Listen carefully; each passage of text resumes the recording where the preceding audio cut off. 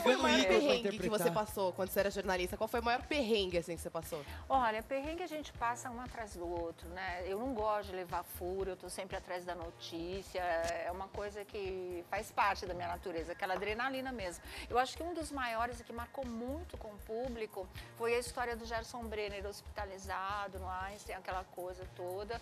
Aquela época eu era repórter do Domingo Legal do Gugu, no auge da guerra de audiência com o Domingão do Faustão, Tá. quando acontece todo aquele assalto, o tiro que o Gerson levou, e a gente tinha uma entrevista exclusiva com a mulher do Gerson na época, que era a Denise Tacto, direto do hospital.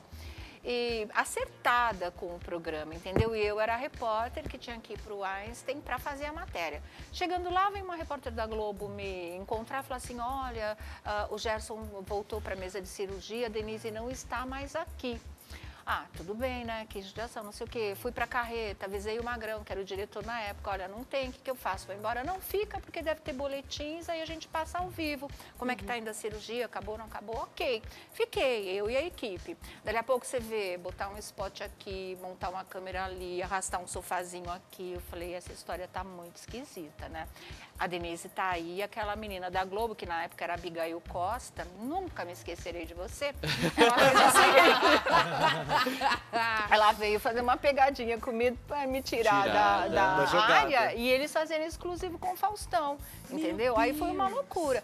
Aí eu peguei, liguei, aí o Mariano, na época da produção do Gugu, conseguiu falar com a Denise dentro do hospital, ela realmente estava lá, mas a Globo não queria que ela desse a entrevista pro, pro Gugu, né, nessa guerra de audiência. E o Gerson era da Globo e eles estavam pagando todo o tratamento, então, ponto. Mas eu falei, ah, não, sabe, marcado tá marcado, eu tenho essa É, incumbência, eu vou fazer. Ai, não deu outra. Eu peguei o microfone, o pessoal também, e a gente foi para a porta do elevador, porque ela só podia descer por aquele elevador para ir naquele setzinho que eles tinham montado. Aí ela desce, no que ela desce, eu colo. No que eu colo, eu começo a ser chutada, levar beliscão. Eles Eita! tentam puxar o É, cabo da isso. câmera, do cabo man também, para não deixar a gente fazer. E eu fui indo, né? Eu tenho labirintite, não me chacoalha muito que eu caio. aí, aí chegou uma hora que ela sentou assim no sofá e a menina, eu esque- essa eu esqueci o nome, infelizmente. Ela me deu um chute aqui na barriga da perna que eu quase fui pra cima dela. Aí eu peguei e caí de joelhos, assim, caí não, me joguei de joelhos, colada no sofazinho onde a Denise estava e coloquei o microfone do SBT com aquele cubo discreto, assim, aqui na cara dela. Olha, foi transmissão simultânea, Zé Luiz, foi simultânea. E ela estava com o ginecologista do lado e ele, sai daqui, sua ridícula. Eu vou falar que ela está tendo contração por sua causa. Sai daqui agora, Nossa, sabe? então foi- Aquele lindinho do Montgomery, que eu nem sei o primeiro nome dele.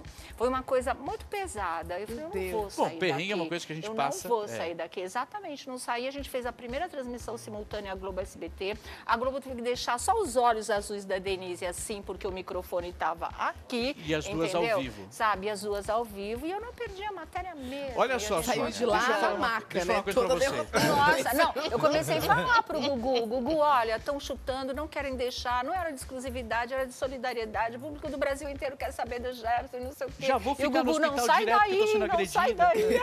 Vou ficar no hospital. Enfim, foi aqui, mas como diz o Ratinho, lá tinha café no, No final, o Gerson Sônia, que deixa queria eu falar saber como ela coisa. tava, né? Deixa eu só